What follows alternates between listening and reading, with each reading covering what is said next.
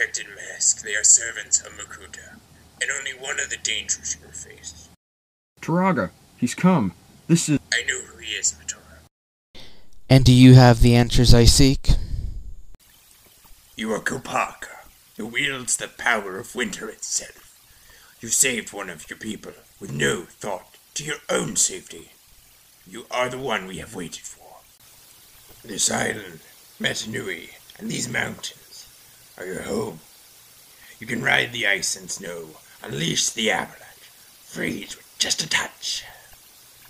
But that isn't enough, is it? No. Our world, our people, were once pure and strong as the ice. Then Makuta came, bringing evil to this land. To defeat Makuta and restore our land, you will need the great mask of power.